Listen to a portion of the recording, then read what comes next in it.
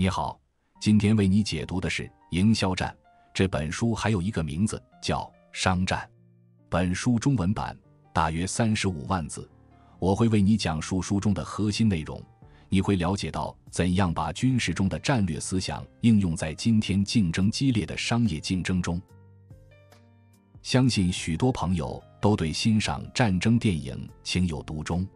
这类影片不仅展现了令人热血澎湃的宏伟场面，同时还展示了令人叹为观止的军事谋略。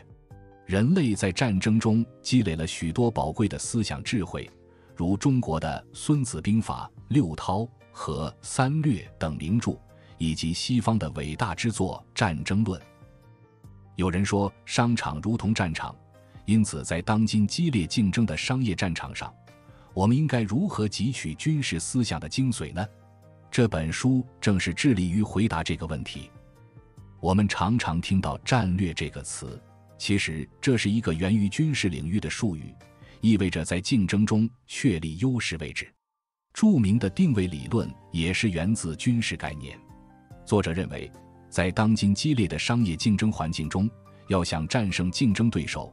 仅仅将目标聚焦在顾客需求上是远远不够的，制定营销战略不能仅仅从自身和顾客需求出发，还需要充分考虑竞争对手的因素，必须根据竞争对手制定相应的营销战略。这本书在美国被视为营销领域的教科书，更被誉为营销界的《战争论》和《孙子兵法》。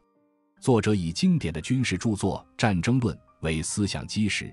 提炼出了营销战略模型，教导我们如何在商业战争中获得胜利。在当今商业竞争的舞台上，作者认为，营销已不再是产品之间的争夺，而更是一场认知之交。竞争的战场不再局限于工厂或市场，而是存在于消费者的心智深处。营销的世界里面没有事实，只有认知。每个行业最终都将形成一定的竞争格局。产生行业的龙头、老二、老三等不同的地位，因此，企业在面对这样的局面时，应该选择哪种战略，成为企业管理者们首要且至关重要的决策之一。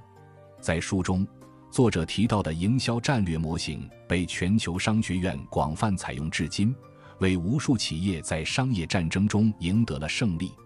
这本书的两位作者分别是定位理论的奠基人杰克特劳特和爱丽丝，他们的定位理论被美国营销学会誉为有史以来对美国营销影响最大的观念，已经合作编写了十几本专著。从定位到新定位，再到重新定位，这一系列构建了一门完整的营销科学体系。这两位作者曾经帮助 IBM 在亏损八十一亿美元的困境中走出泥潭。使得西南航空在激烈的美国航空业中连续五年被《财富》杂志评为最值得尊敬的公司。此外，他们还为诸多世界财富五百强公司提供服务，包括沃尔玛、微软、雀巢、苹果等顶级企业。在中国，他们也成功帮助众多企业走向成功，比如在九年时间里，使得加多宝的销售额从一亿增长到了二百亿。好。那在介绍完这本书的基本情况和作者背景后，接下来我将为你深入解读书中的内容。这本书的核心议题是作者提出的营销战略模型，包括防御战的原则、进攻战的原则、侧翼战的原则和游击战的原则。首先，让我们聚焦于第一个重要主题——防御战。防御战是什么呢？简而言之，就是防守。我们可以想象一幅电影场景：一支军队占领一座山头，掌握着战略制高点，从高处阻止敌人的进攻。商战中的情景亦如此。一些品牌已经在消费者心智中占据了制高点，因此应该坚守这个制高点，以免失守。那么，谁应该采取防御战略呢？作者认为，只有市场领导者适合进行防御战。因为商业战是在顾客头脑中展开的，是一场认知争夺战，而行业领导者已经占据了这个制高点，甚至领导者的品牌已经成为该品类的代表。在这种情况下，就应该考虑进行防御战了。首要的作战目标是保护品牌在消费者心智中的地位，防止竞争对手夺走这一位置。因为进行防御战的最终目标是保持一种和平状态，这种所谓的和平，实际上就是确保领导者能够主导整个行业，使其他竞争者无法与其媲美，或者迫使其他竞争者转向零散的游击战。然而，需要注意的是。所谓的领导地位，必须是建立在顾客心智中的地位，而不是自己定义的。因为营销战是一场认知争夺战，只有被顾客认可的领导者才是真正的市场领导者。那么，行业领导者应该如何展开防御战呢？作者提出了一个原则：最佳的防御就是有勇气攻击自己。有很多方式可以攻击自己，比如不断推出新产品和新服务。加强自身的领导地位，甚至领导者可以推出新品牌与自己竞争。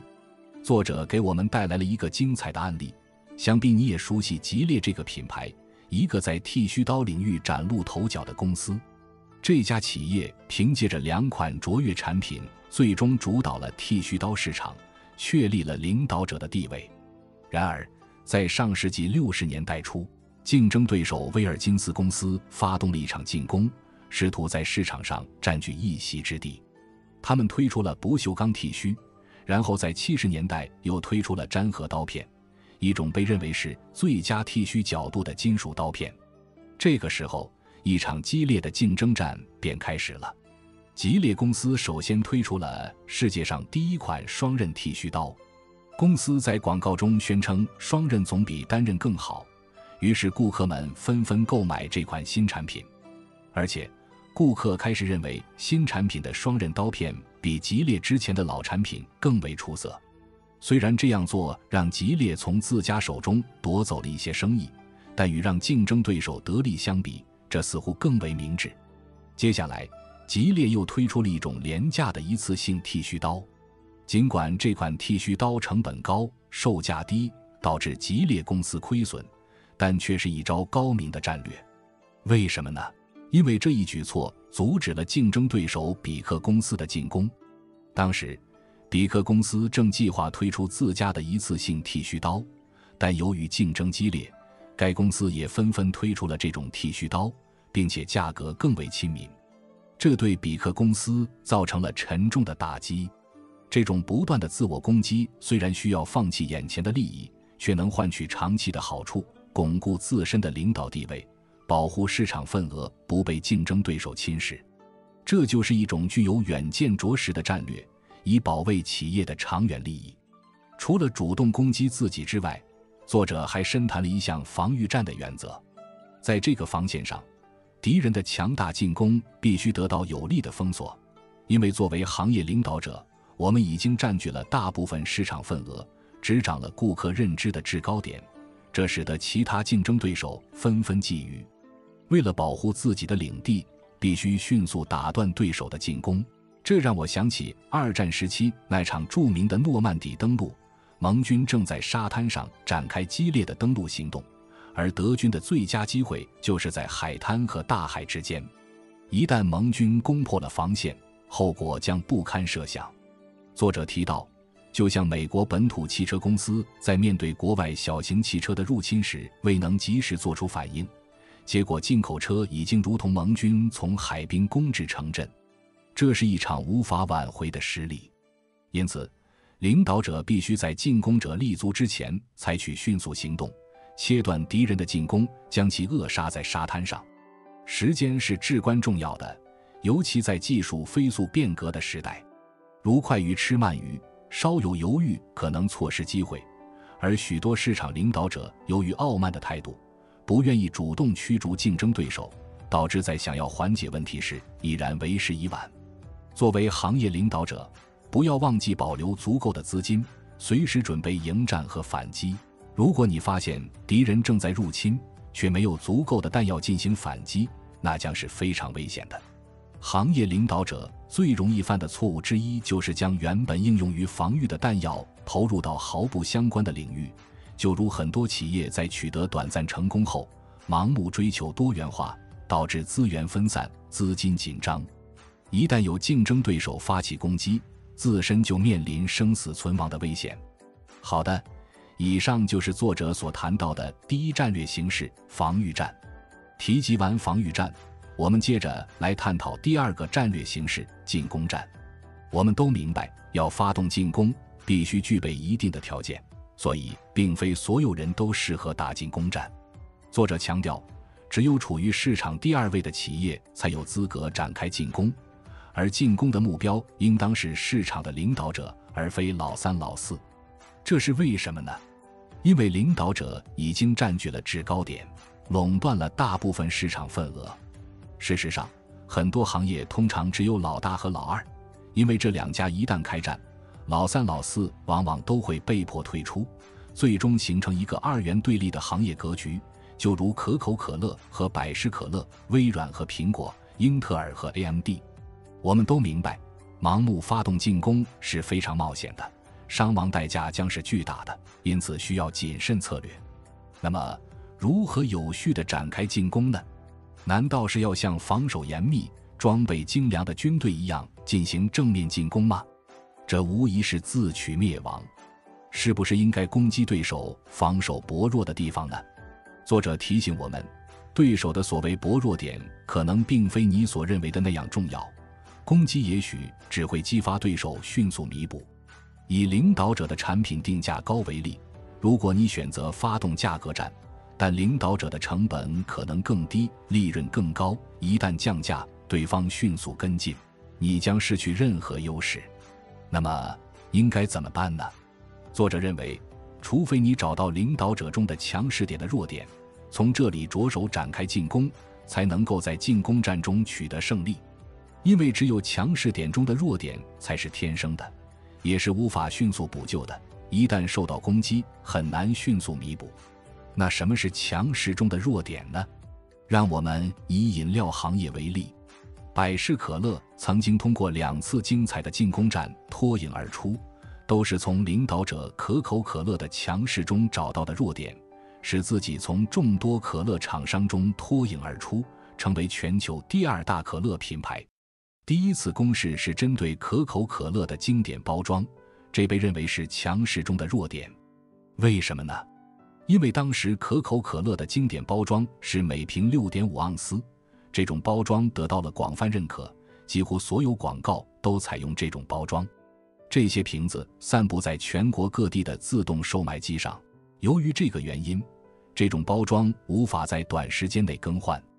可口可乐短时间内无法增加饮料容量，除非他们愿意废弃现有的十一个六点五盎司的瓶子。此外，他们也不能降价。因为市场上有数十万个自动售卖机，都是按照原有价格设计的，这就是可口可乐强势中的弱点。而百事可乐充分利用了这个机会，推出了同等价格但容量翻倍的进攻策略，吸引了青少年消费者，成功脱颖而出，成为全球第二大可乐品牌。此外，若想发动一场出色的进攻战，站在领导者的对立面也是一种不错的攻击策略。通过成为领导者的替代品，当顾客对领导者品牌产生疑虑时，自然而然会选择你。我们可以以前面提到的案例为例：百事可乐通过定义自己为年轻人的可乐品牌，站在可口可乐的对立面，成功成为第二大可乐品牌。七喜汽水将自己定位为非可乐饮料，也因此取得了巨大的成功。当顾客不想喝可乐时，七喜成为首选，从而成为美国第三大饮料品牌。再比如宝马，他们站在奔驰的对立面。奔驰汽车给人的印象是尊贵豪华、适合乘坐的豪华车品牌，而宝马汽车将自己定位为适合驾驶的超级驾驶机器，形成了类似“开宝马坐奔驰”的广告口号。关于进攻战，有一个十分重要的原则需要注意，那就是要尽可能的收缩战线。即要非常专注，将所有资源聚焦在一个单一产品上，不要试图一下子推出很多产品。想通过全线产品展开进攻是很难实现的，只有行业领导者才有可能做到。就如同打仗一样，假设敌军有五万人，而我军只有两万人，但是如果敌军分散在各地，只有两千人在某个小战场上活动。那我们就可以集中两万人去打这两千人，创造在局部领域的相对优势。这样的专注聚焦战略更容易获得成功。以上是有关进攻战的原则。接下来，我们来探讨第三种战略形式——侧翼战。在谈及侧翼战时，首先需要了解的是，侧翼战适合那些处于市场老三、老四位置的企业。由于实力有限。很难对领导者发动正面进攻，因此需要开辟新的战场。那么，什么是侧翼战呢？如果说进攻战是直接向敌人发动攻击，试图夺取已经被敌人占领的制高点，那么侧翼战则是绕过这个制高点，去占领旁边无人防守的制高点。如果攻打一个有重兵把守的制高点，需要两个师的兵力才能够成功，那么去占领一个无人防守的制高点。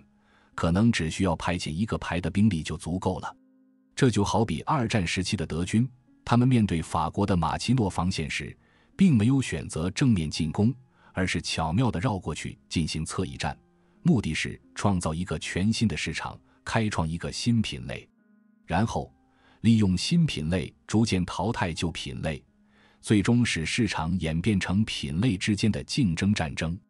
这样的市场在当时还不存在。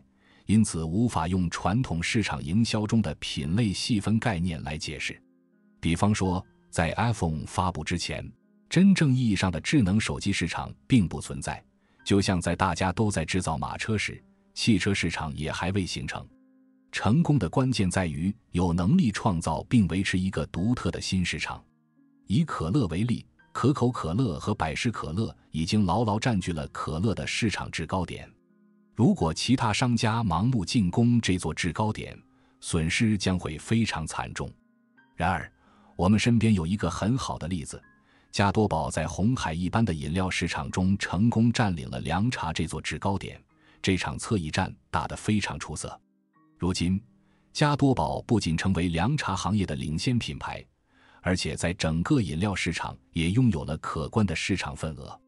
当加多宝初步占领凉茶市场后，接下来的正确做法是持续巩固这个地位，强化怕上火和加多宝这两个认知，将品牌与凉茶品类紧密联系在一起，成为凉茶这个心智高点的主人，成为消费者心中的首选。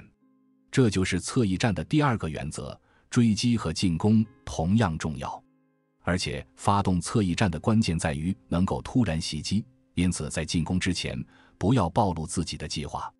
必须做到出其不意、攻其不备，迅速巩固自己的地位，不给竞争对手反应的机会。在这一点上，作者提到需要注意市场调研的举动，不要因为大规模的市场调研活动而将作战情报暴露给竞争对手。这需要企业领袖的洞察力，要用远见代替市场调查。比如，苹果公司在 iPhone 发布前对此保持完全保密。而那些喜欢进行市场调查的企业管理者要发动侧翼战，则会面临困境。他们总是试图用一些现有的报告数据来替代远见，而卓越的侧翼战需要创造未来，开创新的品类，然后影响顾客选择这个品类。正如乔布斯曾说的：“我们不需要做市场调研，因为人们不知道自己想要什么，直到你把这个电脑放在他们面前。”许多伟大的战役都采用了侧翼战，商业战争中也有许多精彩案例是侧翼战的体现。这些成功的故事听起来虽然过瘾，但进行侧翼战是一项冒险，成功的机会与惨败的可能性同样存在。有时候，它甚至有点像赌博，需要实力和一些运气。因此，侧翼战并不适合过于胆小谨慎的企业管理者，而是需要一些勇气和冒险精神。好了，以上是关于侧翼战的一些原则。接下来，我将向你介绍最后一个战略形式——游击战。你一定对游击战这个词不陌生，在一些战争场景、影片中经常能听到这个词汇，比如在中国、阿富汗、古巴和越南等战场上，相对实力较弱的部队，只要采用游击战略，也能对敌人造成巨大的损失。在商业战中，游击战适用于那些规模较小的企业，只要运用得当，可以在激烈竞争的行业中获得一席之地。那么，游击战有哪些作战原则呢？首先要找到一块小而足以守得住的阵地，小到让大公司难以注意到你，甚至懒得与你争夺生意。作者还提供了几种常见的游击战打法，比如打地里游击战。你可能知道一些本地的商家，像是一些酒店、银行、商场或超市，虽然在全国范围内声名不大，但在当地却有着极高的知名度。作者提到了一个类似的例子，在美国的杂志行业中，《商业周刊》、《福布斯》和《财富》等全国知名的商业刊物已经占据了市场。如果想推出一个全国性的商业刊物，即便投入大量资金，也很难成功。然而，有一本由克莱恩公司推出的《克莱恩芝加哥商业报》却取得了巨大成功，仅用三年时间就成功占领了芝加哥地区的市场，击败了《商业周刊》。虽然在全国发行量上不如《商业周刊》，但在芝加哥地区却取得了胜利。此外，你还可以进行人口游击战。推出一个品牌，吸引某个特定的人群，在这个人群中建立专家品牌，比如面向老年人的品牌或面向母婴人群的品牌等。作者提到，在美国有一份名为《有限公司》的杂志，专注于美国小企业主。他在发行的第一年就取得了巨大的成功，因为公司的创始人发现，像《商业周刊》这样的杂志实际上是大企业的周刊。只覆盖了美国五百万企业中的一小部分，而有限公司则是第一家面向美国小企业的刊物。最后，你还可以进行行业游击战，专注于一个特定的行业。成功的关键在于这个行业必须是狭窄而深度的，绝对不能是又广又浅。此外，还存在一种高端游击战，类似于劳斯莱斯和法拉利这样的品牌，他们是高端游击战的代表。当前正值消费升级的时代，人们的消费能力逐渐增强，高端市场中涌现出许多高端日常消费品的游击战机会。然而，真正的机会不在于奢侈品，而是在于高档的日常消费品。因为并非每个人都能购买得起法拉利，但很多人能负担得起价格为三十块钱一瓶的啤酒。在这里，关键不在于将价格定得很高。而是在于为产品注入一些特色，使其物超所值。游击战随处可见，对于小型企业来说，只要不试图模仿大型企业的风格，他们就有可能取得非常成功的成绩。因为只要能够守住自己的阵地，就是一种成功。因此，从事游击战的企业必须能够抵制诱惑。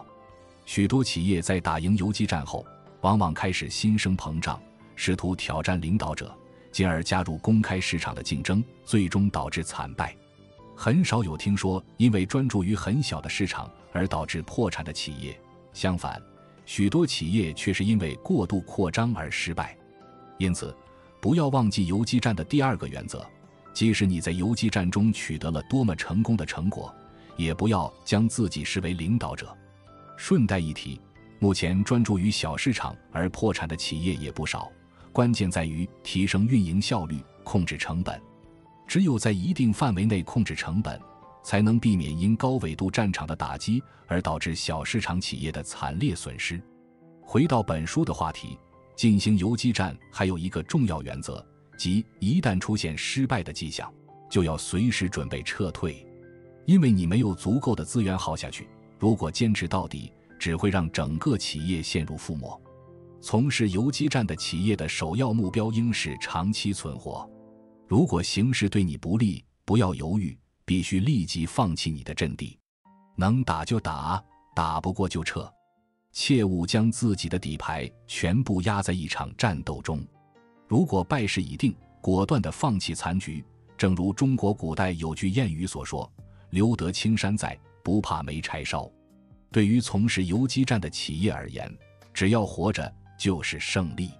好了，我们已经探讨了这四种战略形式，书中还强调了杰出商业领袖应具备的特质，比如灵活变通和果断决策。商业领袖需要具备灵活性，能够随机应变，灵活调整战略以适应不断变化的环境。他们不应坚持强求形势适应战略，同时也不宜过于依赖过去的经验，因为市场一直在发生变化，过去的经验未必适用。作者提醒我们，想要在商战中取得胜利，学好比赛的规则和原则后，必须学会忘掉这些规则。在比赛中要做到精通原则，但内心却无拘无束，就像一位赛车手驾驶赛车上赛道一样。绝不会在思考何时换挡等问题上犹豫不决，而是凭借本能迅速做出反应。作者还强调，在商战中，运气也扮演着重要的角色。尽管可以制定精妙的战略计划，但仍有很多偶然因素。当运气不佳时，需要迅速减少损失，最好及早承认失败，然后迅速转入另一场商战。在商业竞争中，运气的影响不可忽视。那说到这儿呢，今天的内容就聊得差不多了。下面我简单的为你总结一下今天的内容。首先，我们谈到了防御战的原则，唯有那些身居领导地位的企业才能勇敢地展开防御战。防御战的首要原则是，最佳的防御就是敢于自我进攻，同时必须随时准备反击竞争对手的营销攻势，迅速采取封锁措施。并确保有足够的资金以备战时之需，因为参与商战是一个需要充足资金的过程。其次，我们探讨了进攻战的策略，只有那些市场排名第二的企业才适合发起进攻，目标是从领导者那里夺取市场份额。进攻战的关键在于从领导者的强势点入手，并专注推出单一产品，已在有限的领域中创造出局部兵力优势。第三，我们提及了侧翼战的原则，这适用于市场排名第三或第四的企业，要在无人竞争的领域展开侧翼战，关键在于战术奇袭，绝对不能暴露作战计划。一旦侧翼战取得效果，就要迅速追击，牢牢巩固自己的地位。第四，我们探究了小企业可以采用的游击战略。游击战的成功关键在于找到一个足够小而可以守住的战场。企业需要克制诱惑，不要过度扩张，将长期存活作为首要目标。有打得过的就打，打不过就撤退。最后，我们谈到了优秀商业领袖的特质，他们需要具备灵活变通的能力，上战场时要忘掉所有技巧，做到内心游刃有余。同时，一些好运气也非常关键。在运气不佳的情况下，要迅速采取措施，尽快适应变化。这就是今天讨论的关键要点。好了，以上就是本期的主要内容了。关于这本书，我摘录几句本书的精彩文稿，希望对您有所启发。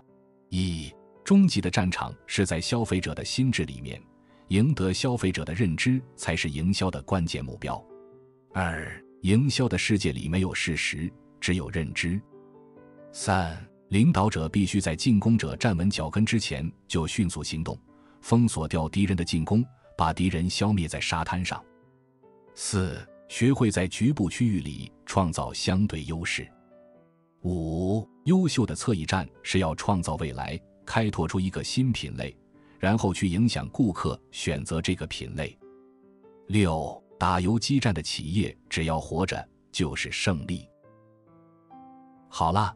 感谢您又听完了一本书，我们下期见。